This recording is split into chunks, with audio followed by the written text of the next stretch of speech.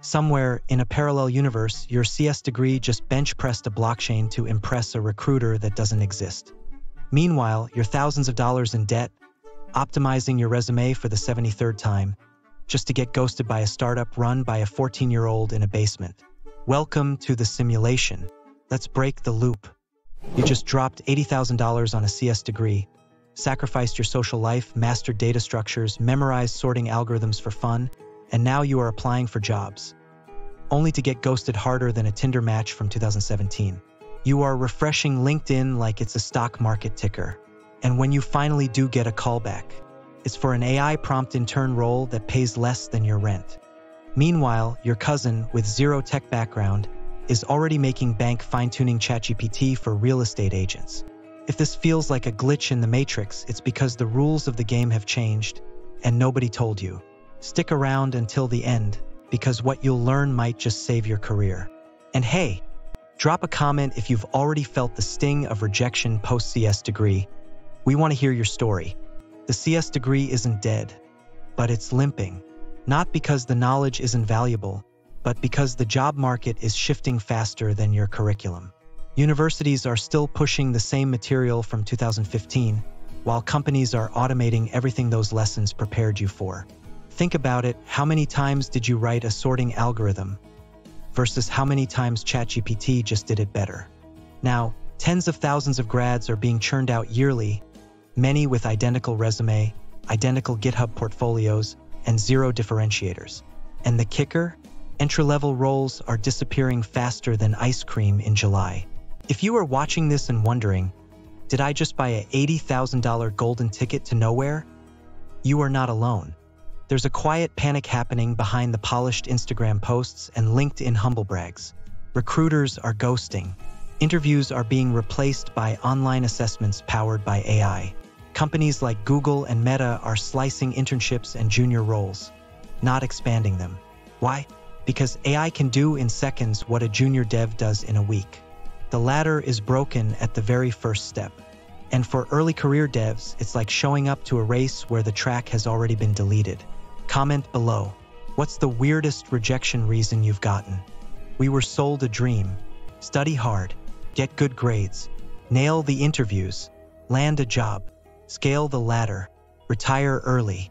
But nobody warned us that the entry level has been quietly redefined by AI tools that don't eat, sleep, or ask for raises. According to Business Insider, the ladder isn't just broken, it's gone, replaced by a cliff you are supposed to scale with no ropes. Boot camps, degrees, certs, it doesn't matter if your skills don't show immediate real-world ROI. Hiring managers are asking, can you build and ship fast?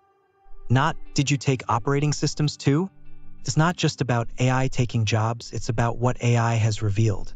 The illusion was that CS grads were job ready.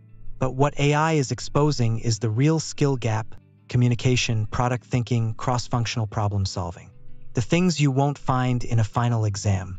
A recent HackerNoon article pointed out many devs can write code, but few can solve real-world problems with it. And that's what employers care about. So if you are clinging to your GPA, it's time to shift gears. Say you are in your mid-20s, you've got a degree, debt, and desperation. You are applying to 100 jobs a week and getting fewer callbacks than your uncle's podcast. You start to doubt yourself. Maybe I'm not cut out for tech. But you are, it's just that the map is wrong. The terrain has changed, and no one handed you a GPS. You are not underqualified. You are just playing by obsolete rules. So where do we go from here? Step 1. Stop waiting for the old world to come back. It won't. AI isn't a trend, it's a tectonic shift. If you are still optimizing your resume for keywords instead of outcomes, you are behind.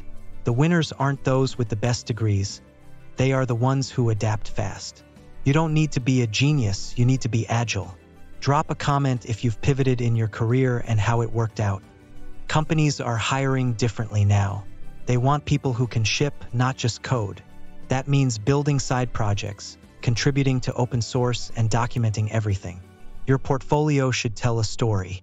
Here's a problem I noticed. Here's how I solved it. Not here's another to-do app one made in React. Recruiters are now scanning GitHub and Substack more than GPAs. Think like a product manager because that's what your future team will need. Here's something they don't tell you in college.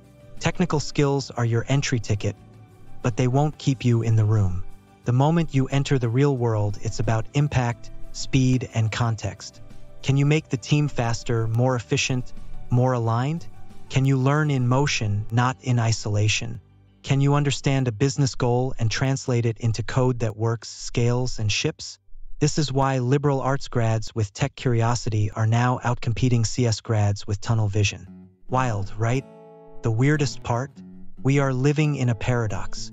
There's a shortage of skilled tech talent, and yet thousands of grads can't get jobs. Why? Because companies don't want just coders. They want creators, collaborators, problem solvers. It's not about how many languages you know, it's about how you use them. If your projects don't show business context, user value, or a unique edge, you are invisible. This is your wake-up call. Even big names are shifting. Mira Lane, a former AI exec at Microsoft, just pivoted her entire career to focus on human-centered AI because tech without purpose is noise. Think about that. A top exec is rewiring her career, and yet many CS grads are afraid to switch tracks. But that's where the opportunity lies. Pivoting isn't failure, it's survival. And in this game, survivors are the ones who evolve. Build something weird to stand out. Not perfect, weird. A Chrome extension for dog walkers a Slack bot for your D&D group, a no-code site that solves one annoying problem you face daily. These are your new credentials. Show don't tell. Comment below. What weird project idea have you always wanted to build but haven't yet? The irony is that the most in-demand roles now are not even about hardcore CS theory.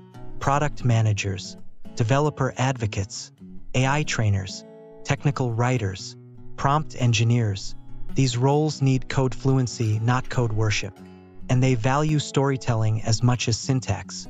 If you are only chasing SWE jobs, you are ignoring 60% of the actual opportunity. So what now? Forget prestige. Focus on proof. Build in public.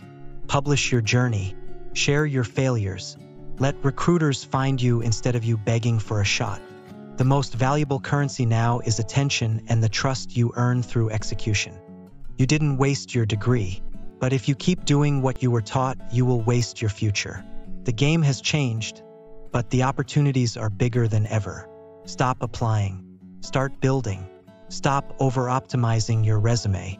Start maximizing your output. And if this video hit home, drop a comment and tell us what your next move is. Because waiting is no longer a strategy. Found this valuable?